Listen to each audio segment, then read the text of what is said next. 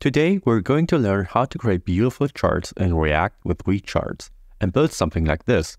Here we have an area chart, a bar chart, and a line chart that have a nice little animation when they're rendered.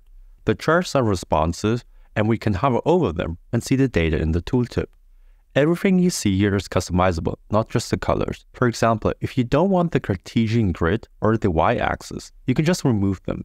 To build charts, you just import the modules you need, because Recharts is built specifically for React. There are also more charts, like pie charts, radar charts, scatter charts, and so on. You'll find a full list on the documentation. Once you understand how to create a chart, you can create any chart you want. So let's get started. Here I have an empty Next.js app that uses the app router, the source directory, and Tailwind CSS for styling. I deleted any existing styles in the global CSS file. Inside layout.js, I added a simple background to the HTML element. Inside the page.js file, I added a simple grid with three grid items that will hold the charts. Here's what it looks like before adding the charts. Now it's time that we create the charts. To get started with Recharts, we need to install run npm install recharts in your terminal. After install, let's create our first chart. Let's start with an area chart. Create a new folder inside the app directory called components. Inside that folder, create a new file called areachart.jsx. For now, let's just return a simple h tag with the text area chart. We need use client at the top because we will add an activity to the chart later.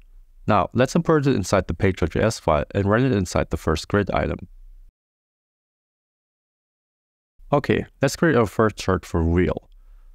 The great thing about Recharts is that it's built for React, so we can simply import the modules we need.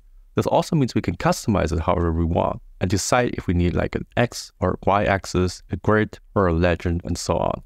We're gonna start with a simple area chart with only one area and then build it up from there. Let's import the components that we need for Recharts. Import area chart and area. Before we can render the chart, we need to provide some data. Let's create a simple array of product sales. Now we can render the chart. Let's add the area chart component and pass the data as a prop. Inside the area chart component, we can add the area component and pass the data key as a prop. The data key is the name of the property in the data array, so make sure it matches. And that's it, we have a simple area chart. You might notice that the chart is too big for the grid item. We can fix this by wrapping the chart inside a responsive container. You can do this with every chart. Import the responsive container component from Recharts and wrap the area chart component inside it. Add the width and height props to the responsive container and set them to 100%. Now the chart is responsive and fits the grid item. We can add more props to the area chart to customize the chart even further. For example, we can smooth the chart by adding the type prop and setting it to monotone. To change the colors, we can also add the stroke and fill props to the area. This is how the chart looks like now. Let's add a second area to the chart. We can do this by adding another area component and passing the data key as a prop. This time we use it for the product too. With that, we have two charts that overlap each other. Each chart represents a product. However, the one I showed you in the beginning were stacked. We can simply achieve this by adding the stack ID prop to both area components and setting it to 1. It looks better now, but it's still very simple and it's missing a grid, the X and Y axis, a legend, and a tooltip. Let's add the grid and the axis first. With Recharts, we simply import these components and add them to the chart. Let's import the x-axis, the y-axis, as well as the Cartesian grid. It looks better now, but I want the grid to be dash. We can do this by adding the stroke dash array prop to the Cartesian grid and set it to something like 5 and 5. With that, the grid is dashed. Finally, let's add the legend and the tooltip. We can do this by importing the legend and tooltip components. Now the chart has a proper legend, and if we hover over the data points, we can see a tooltip with the data. However, since we set the dark background and the text to white, we can't see the text in the tooltip. We can fix this by adding a custom tooltip. It's very easy to create a custom tooltip. Create a new component below the area chart component and call it custom tooltip. It takes in three props, active, payload, and label. Active is a boolean that indicates if the tooltip is active or not. Payload is an array of objects that contains the data for the tooltip.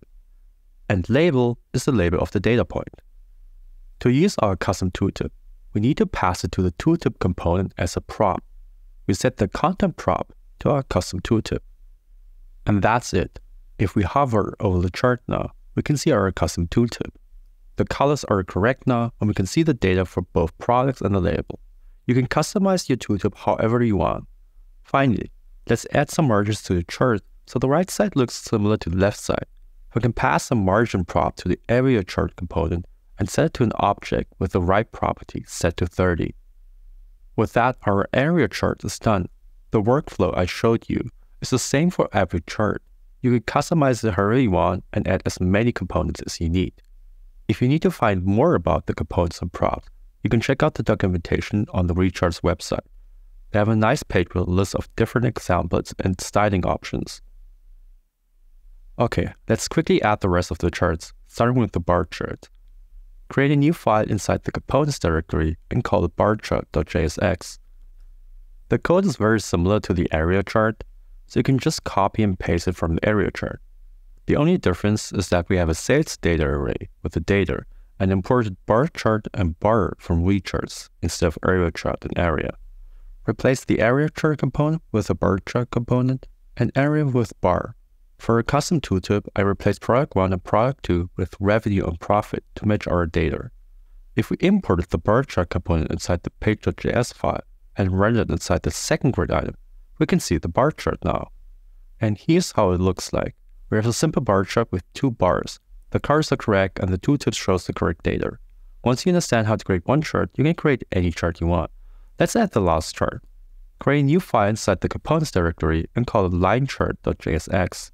In this case, I used the same data as for the bar chart. I imported line chart and line and added the two line components to the chart.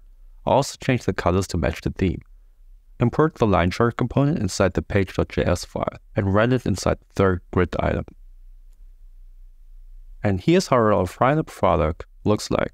We have Recharts that look great and fit our dark theme. The charts are responsive and interactive. We can hover over them and see the data. Also, animation when it's rendered is just nice to have. With three charts, we can create beautiful charts in React. It's easy to use and customize. It comes with a lot of features. The workflow is very similar for every chart, so you just need to understand how to create one chart, so you can create more charts as you go. Refer to the documentation if you need to find more about the charts, the props, and modules. And that's it for me. I know I haven't posted a video in a while, but I'm back now and I'm gonna post more videos in the future. Until then, see you next time.